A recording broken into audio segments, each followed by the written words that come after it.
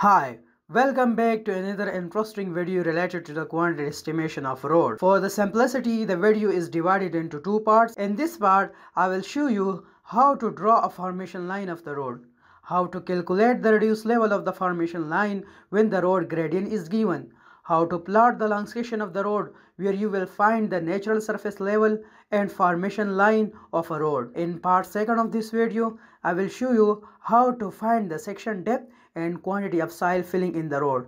Let's get started part 1 of this lecture.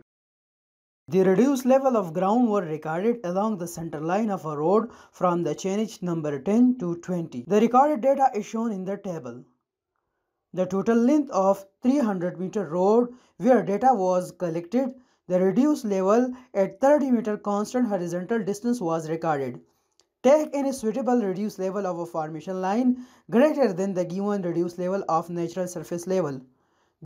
The gradient of formation line changes downward gradient 1 in 150 up to the chainage 14 and then the gradient changes to 1 in 100 downward after finding the reduced level of formation line, I will show you how to plot the formation line and natural surface level of a road from the given data.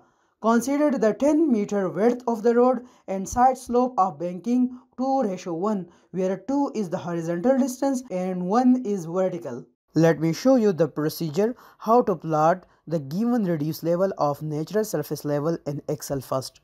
After that, we will plot the formation level of each chainage according to the gradient 1 in 150 up to the 14 chainage and 1 in 100 downgrade up to the 20 chainage.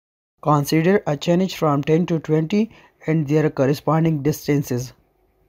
The reduced level of ground at each chainage 1 in 150 downgrade up to the 14 chainage and 1 in 100 downgrade to the remaining chainage. Go to the insert tab in Excel and click on insert scatter. Right click on the graph and select data. Add the graph and give the name of the series long section of the road. Select the X value data and Y value of the column and press on OK. The graph will appear that will show you the long section of the road. Now let me show you the procedure how to find the reduced level of formation line at each chainage. For that you need to give focus on the data from the chainage 10 to 14 because the gradient from chainage 10 to 14 is 1 in 150 downgrade.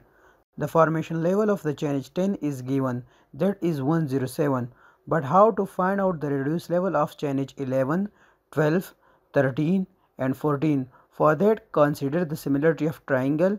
That is one downgrade in 150 how much there will be down in 30 meter distance. For that, consider the similarity of triangle. That is equal to height of big triangle divided by base of big triangle. That will be equal to height of small triangle divided by base of small triangle.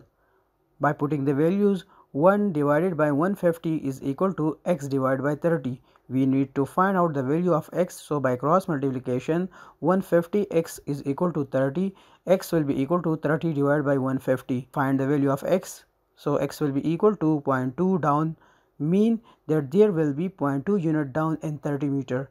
If there is one down in 150 similarly you may check it in 60 meter that will be 0.4 unit down in 60 meter horizontal distance. Now we got the conclusion that each preceding point will decrease 0.2 unit from the previous point. So deduct 0.2 from 107 to find the reduced level of chainage 11, deduct 0.4 from 107 to find the reduced level of chainage 12 and 0.6 for chainage 13 and 0.8 for chainage 14 to get the reduced level of formation line at each point. Again there is change in gradient from chainage 14 to 20 that is 1 in 100 downgrade.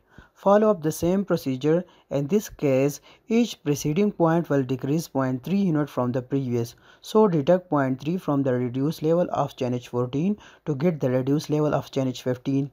0.6 from the chainage 15 to get the reduced level of chainage 16 and so on. As we have already plotted the natural surface level of the road for the formation level, right click on the graph and click on select data. Give the series name formation level. Select the x value of the data that is horizontal distance and click on OK. Select the y-axis value of the data. Here is the combined graph of natural surface level and formation level. Thanks for watching. For more information and interesting topics related to civil engineering, subscribe to my YouTube channel and don't forget to press the bell icon.